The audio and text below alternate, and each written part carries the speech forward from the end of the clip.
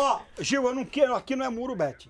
Aqui não é esse negócio. Ah, quem Giovanna Kiel escolheria pra treinar a seleção brasileira se ela pudesse escolher? Só uma pergunta. Ah. É, é, é, é pra Mas eu agora? posso- Pra agora. Ou, ou pra depois do final do Não, não, contrato eu- do Mas peraí, a minha resposta tem Ah. que ser realista, né? Não dá pra pensar com a cabeça da CBF. Porque, tipo assim, Não. Zidane, Não, não, gente. não. Se, se tu, Guardiola. Zidane não vem, cara. Por que que o Desculpa, Zidane não vem? Zidane não vem. Por que, que ele não Ah, vem se ele está não desempregado? Não vem. Você, você acha que ele não aceitaria um convite Não, não pra vem. treinar a seleção brasileira? imagina, Acho que não ele vem. aceitaria. Eu Não acho que ele vem. aceita. Eu Mauro, não aceitaria, vem. Eu Zidane? acho que ele não aceitaria, mas eu, eu ligaria pra ele. Eu ligaria. Mas você já acabou Ah, com o Brasil liga, duas mas um vezes. não também, tipo assim, é, vai atrás Mas ninguém humilhação. precisa saber desse o não. não. todo mundo tem, você vai atrás Ô, da Gil, humilhação, você vai entendeu? dar vários nãos a partir de Então, agora. eu Ninguém precisa saber. isso É você na agora, Ninguém balada. precisa saber. Esse aqui na balada. Ué. Imagina isso aqui na balada Não, nos isso tempos aí. de Piracicaba. Nossa. A autoestima lá no Ei, alto. no Clube. Aramaçã de Piracicaba, Não ele tentando... no clube de campo. Mas não eu ia falar não. exatamente pra, nossa audiência que tiver também solteira e querendo, né, romance ao longo de Olha, 2024. eu, eu não, eu, eu admito. Fala na cara dela, não é pra falar assim diretamente. Provavelmente Fala pra ela que tá a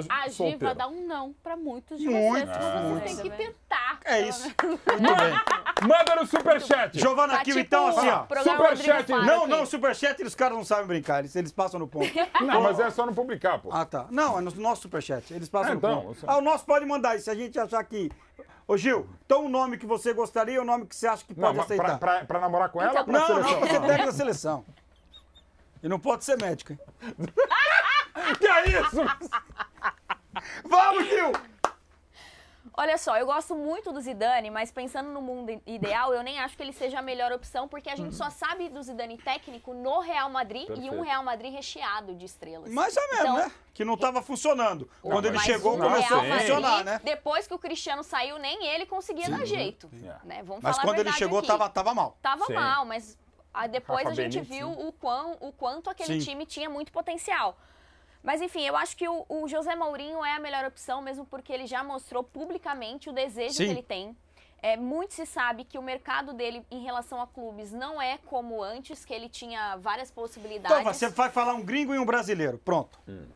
Gostei. Um gringo e um brasileiro? É. Eu também gosto do Abel Ferreira, mas seria um gringo que atua aqui no Brasil. Vale, mas vale como brasileiro. vale como Vale brasileiro? porque tá aqui. Então tá bom. Então o Abel Ferreira eu acho que seria uma grande opção, ainda mais pelo sistema dele. Acho que o sistema dele tem muito a dar certo e é um cara que tem algo que eu gosto bastante, que ele consegue tirar o melhor de cada um. Ele consegue desenvolver muito bem os jogadores. E tem outra questão que é, ele adapta a tática dele, o esquema dele em relação ao adversário. Isso é incrível. Por exemplo, o Diniz tem algo que eu não gosto muito, que é morrer abraçado com sua ideia. Que ele mostrou isso no Mundial de Sim. Clubes.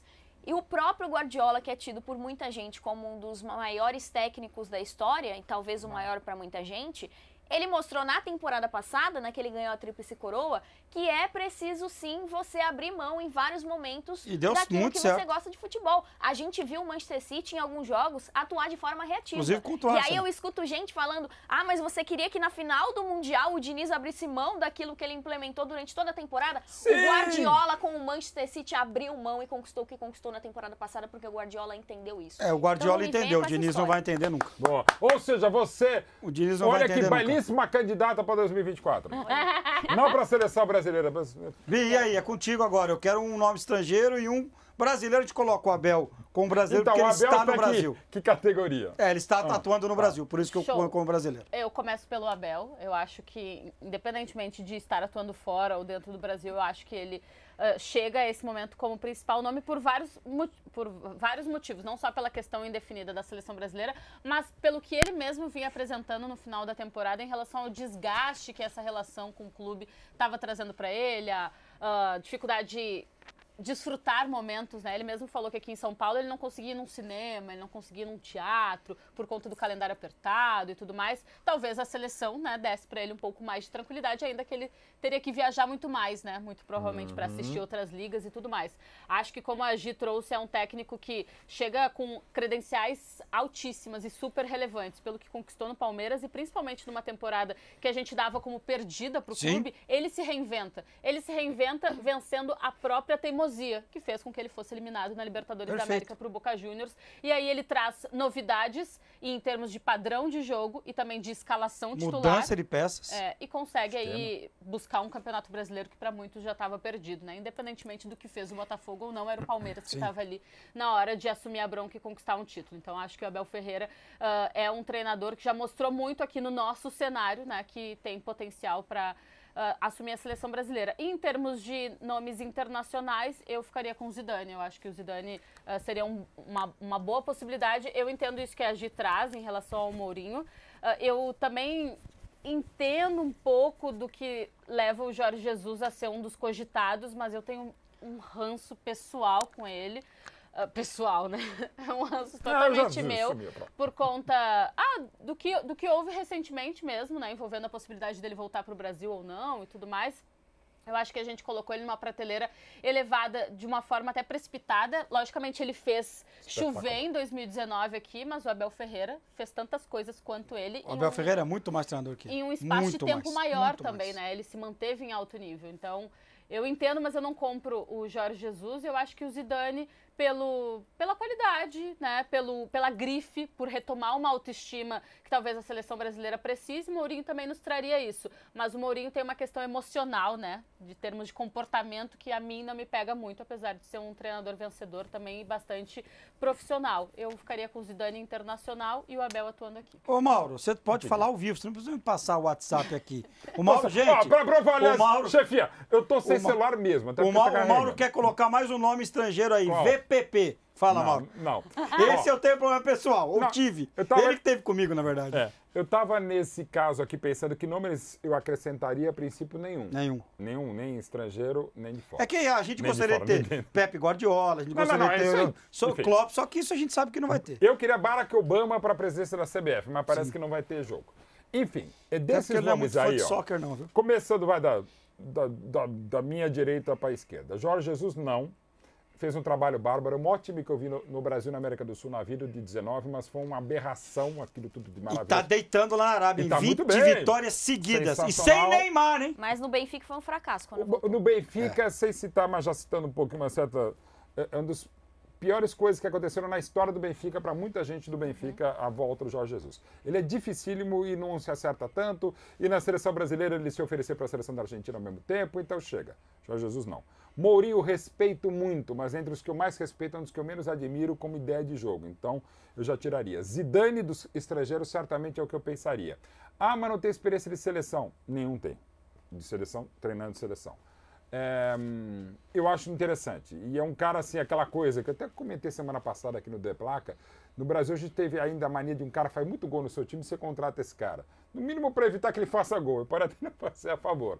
O Zidane é o único jogador da história que acabou duas vezes com a seleção brasileira, acabou mesmo. Sozinho, praticamente. dele, praticamente. Aí, Diniz, o desgaste é grande, não tá legal e as ideias dele para a seleção, não sei se terá tempo hábil, o desgaste é muito grande, eu acho que não é. O Renato eu já pensei mais durante os 15 Eu minutos. pensei muito, né? É, agora eu acho que não, mas eu, eu, eu acho que ele é muito melhor Seria um do que os absurdo detra- Não, ter o. Renato como treinador de O seleção. Renato é muito melhor treinador do que os detratores adoram odiá-lo. Perfeito. Sim. E, e sério, ele trabalha mesmo, tá? É, é, é, ele fala aquela coisa que eu acho até meio contraproducente, mas ele, ele É o personagem que ele fez. É um né? personagem, que mas gosto muito do Renato, mas não. Gosto muito. É, Dorival era a minha primeira escolha antes do, do, do, do Fernando Diniz para esse momento da seleção brasileira, até pensando A numa minha também. transição para o Ancelotti Ou numa negativa maior. do Ancelotti, você já Também o, o Dorival já lá. ter E o Dorival. Dorival estava desempregado. como pessoa, como treinador, enfim, o pacote Dorival, experiência, gosto. Mas aqui é, eu quero só fazer uma distinção que eu falo sempre publicamente. Eu sou primeiro palmeirense, depois eu sou Mauro Betting. A minha vida é ser primeiro palmeirense, depois sou Mauro Betting, depois sou jornalista. Eu vou me aposentar do jornalismo, eles vão me aposentar, mas não vão me aposentar da minha paixão que me faz estar aqui com vocês há 33 anos, que é o Palmeiras. Então é o seguinte, eu vou sempre preferir algo a favor do Palmeiras do que a favor do Mauro o E eu sou Mauro Betti, jornalista. O palmeirense Mauro Betti quer o Abel onde ele está. Mas, como o- jornalista, eu acho que o melhor nome é Palme- Abel e, o, e Mauro Betting brasileiro? Tá atrás Então, do Mauro Betting palmeirense? Sempre. Palmeiras e Brasil. É claro que eu torço pro Palmeiras, aliás, não só eu. E não sou um lesa pátria, não sou um vendilhão da pátria, não vou abraçar quartel, nada disso. Mas vou abraçar o Allianz Parque se Tá. preciso for. Então, assim, é, eu entre Palmeiras e Brasil, eu lembro isso até com uma coisa, questão de jovem. Quando em 75 o Palmeiras perde o treinador da segunda academia, o Brandão, para a seleção brasileira, Você fica e na pluto. época ele tinha que sair, pô, fiquei arara. Não foi só por isso que o Palmeiras deixou de ser a segunda academia.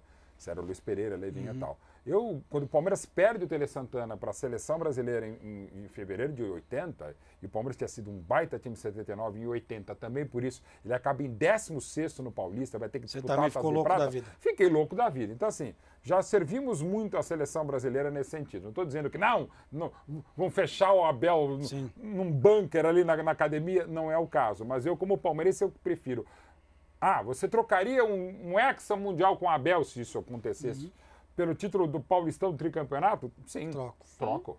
Eu sou palmeirense, não sou brasileiro com muito orgulho, com muito amor. Eu torço pelo Brasil, sim. Você, Mas você é engraçado, né, mano? Brasil, Você escreve a música, você é a primeira a cantar a música, eu Não. sou brasileiro, agora não quer assumir. Então, e, e outra coisa, até porque vão dizer também, pô, eu torço pelo Brasil sim, Sim. mas torço pela Itália também. A única vez que eu, que eu, eu amplio a torcida é em Copa do Mundo. Então faz Brasil tempo e que você Itália- só tem uma seleção em Copa, hein? É, não, não, não, não não, eu Copa tenho faz tempo. várias. Eu sou Brasil, sou Itália, porque inclusive tenho Sim. passaporte italiano, metade da minha família é italiana, outra metade de origem alemã, torço pela Alemanha, afinidade futebolística pela Holanda e com o tempo eu comecei a torcer, eh, vou apanhar, mas eu comecei a torcer por onde joga o Messi. Então você faz favor promessa. mim, quais seriam os seus dois treinadores? Dito Zidane, isso, e dito isso, mas eu até já disse, Zidane, o estrangeiro, Abel, o brasileiro. Qual você iria primeiro? No Zidane. E aqui não está falando do palmeirense, Sim, como eu falei sim. e tal. É, eu iria no Zidane, o negativo do Zidane, eu iria no Abel Ferreira. A minha primeira opção, desde a chegada do Fernando Diniz, era Abel Ferreira. Eu acho que o Abel tinha que ter assumido a seleção e de forma definitiva ia resolver muitos problemas, inclusive da diferença de nível do futebol brasileiro de clubes. Então acho que seria muito importante a gente ter o Abel na seleção brasileira. Agora sem sacanagem, falando sério, Uhum. pelo treinador que ele é, para mim ele é muito diferente. Então seria o Abel. O Abel não aceitou, teria ido no Dorival, não teria Sim, ido no Fernando sim. Diniz. Então, a minha primeira opção é Abel e a segunda é Zidane. Eu também gostaria muito de ver o Zidane na seleção brasileira.